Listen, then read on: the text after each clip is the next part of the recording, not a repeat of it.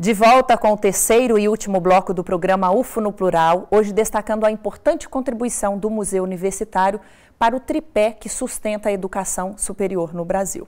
Então, no bloco anterior, professor, nós falamos do, da contribuição do museu para o ensino, para a pesquisa, íamos é, falar da questão da, da extensão, mas o senhor destacou aí a pouca valorização, né, que ainda se tem com essa questão voltada para para o artístico e para o cultural. Vamos mudar isso. Depende de quem. O senhor disse que é uma responsabilidade sua enquanto coordenador, mas eu quero crer que não é só a sua competência isso. É uma competência de todos. Né? Nós precisamos também é, estimular a sociedade de forma geral, os, os empresários locais, é? as redes de comunicação, é? para que atentem ao, a, a, ao, que acontece não só no, no, MUNA, mas também nos centros culturais da cidade. Não é? Todas as iniciativas que sejam mesmo pequenas, elas devem ser muito valorizadas e uhum. tem que ter o seu espaço. A imprensa, eu quero crer, tem um papel importante no sentido de divulgar, de, de trazer esse conhecimento à tona, é isso que o FUNO Plural tenta fazer nesse momento, viu, professor? Está registrada aí a contribuição da TV Universitária. Uhum. Vamos falar agora da organização da gestão. Como é que se dá? O senhor já é coordenador, o senhor foi eleito por quem e por quanto tempo? É, eu sou é, coordenador desde maio de 2013 e é, a gestão dura cerca de dois anos, uhum. é, por uma eleição que é feita internamente no curso de artes visuais é? e, e que é, elege um professor ligado ao curso. Então são os pares que elegem? Isso. Uhum. E, professor, tem também a figura de um conselho diretor, não é isso? Isso. Esse conselho é formado por quem e para que, que ele serve? O conselho gestor é formado por professores também ligados à área né, do curso e é, pelo museólogo né, do, no, do MUNA é, e também é, se, é, quando há, né, por representação discente.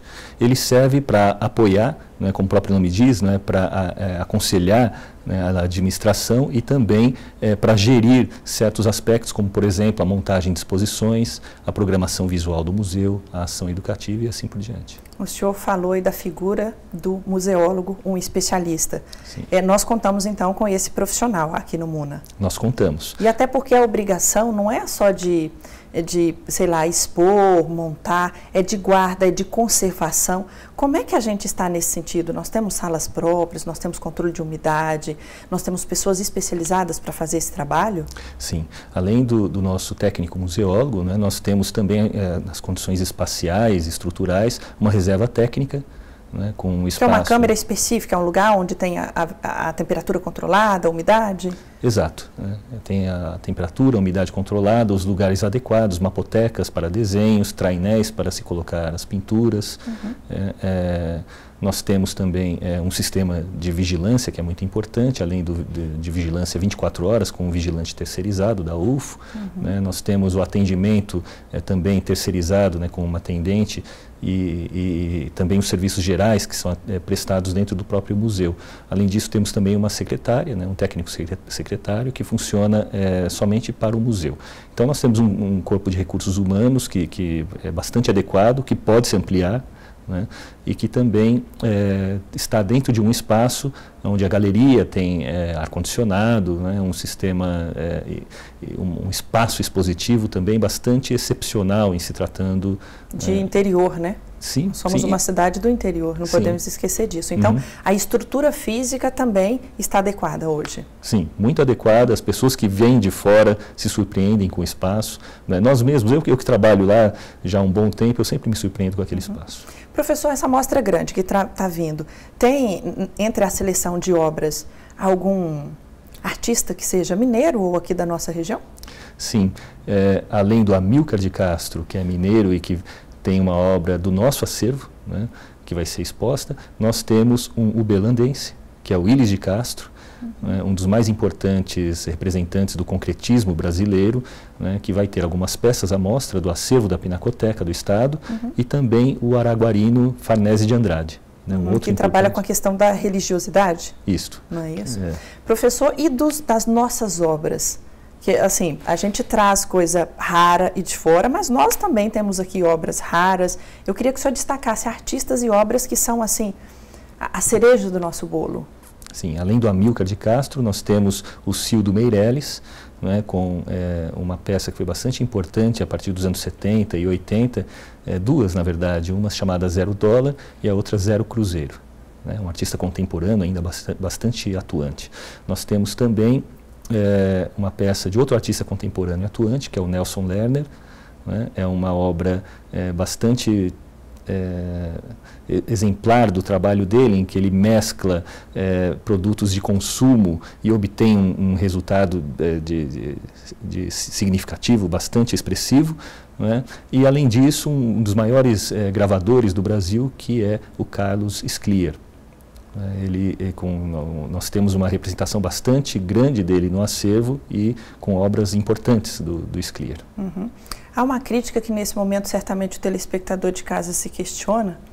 Por que o museu não funciona aos domingos, professor, e no sábado à tarde? É, é uma, essa é uma das grandes questões que nós precisamos enfrentar.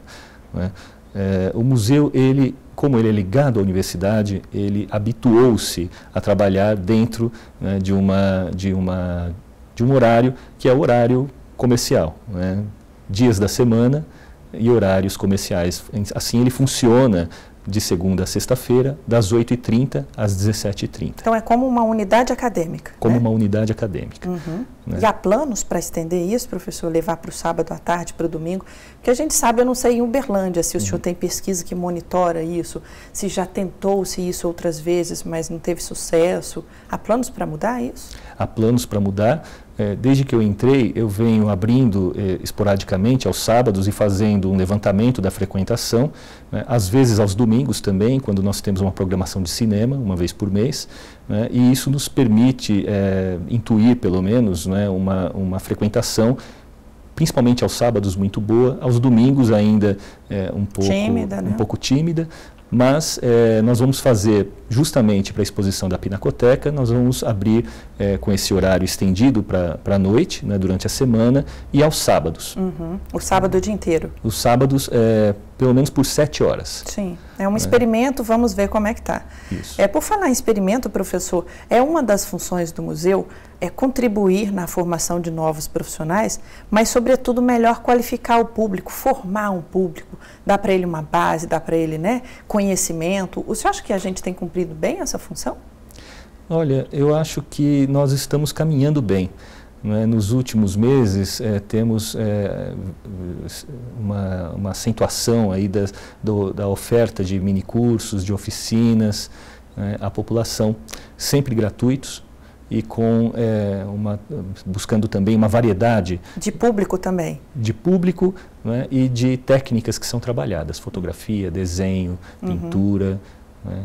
e o aluno que nos assiste agora ou o professor que tem alguma atividade que conhece bem uma atividade voltada para as artes e queira por exemplo oferecer um mini curso uma oficina ele entra em contato com quem ele depende de um edital como funciona? Pode entrar em contato direto com a coordenação, com a secretaria, né, e depois com a coordenação.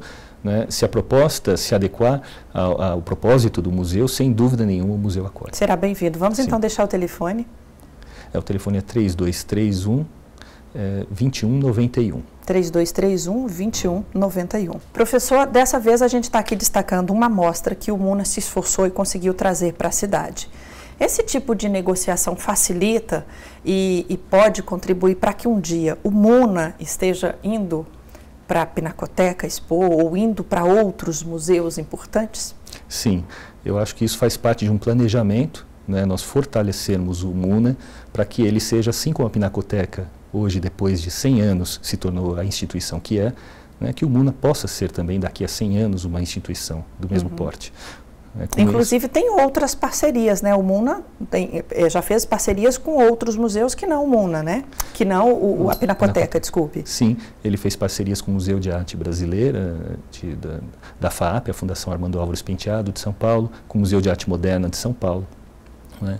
E é, nós temos um, um, projeto que vai ser posto em prática né, de, um, de, uma, de um acervo itinerante, de uma parte do nosso acervo que vai ser é, visitado em outros locais. Em primeiro lugar, os nossos próprios campi da UFO. Uhum. Né? Então nós vamos ter tanto um deslocamento do acervo aqui para o nosso campus eh, Santa Mônica, como também para os outros campi de, da, uhum. da, da E para a região, para outros estados, né? Também. Ter a grife UFO por trás do MUNA. Sim. Ajuda muito, professor? Abre portas? Eu acho que sim, é, porque isso nos, é, nos estimula também não é, a investir no museu. Investir não só no sentido financeiro, mas de visitar, de frequentar, não é? e de reconhecer uh, o trabalho, as obras que estão dentro uhum. desse acervo. Uhum. As exposições que são ali colocadas, as oportunidades para formação, né? Sim. Uhum. E o público agora que está interessado em algum tipo de, ah, como saber dos cursos que oferece, das oficinas, do que é gratuito, da exposição que está em cartaz? Tem algum lugar para buscar essas informações? Sim, nós temos dois principais veículos diretos do museu, que são o próprio site, né, www.muna.ufo.br e também a nossa página no Facebook, que é Museu Universitário de, de Arte. Uhum. Tá dado o recado então, professor, foi muito bom falar com o senhor, muito obrigada. Eu aqui agradeço, Frineia. Encerrando mais uma edição do programa UFO no Plural, eu agradeço de forma muito especial você que está em casa pela audiência e preferência. Se você quiser rever este programa a partir de amanhã, ele estará disponível também no portal da UFO. Acesse comunica.ufo.br. O nosso encontro é na semana que vem. Um abraço para você e até lá.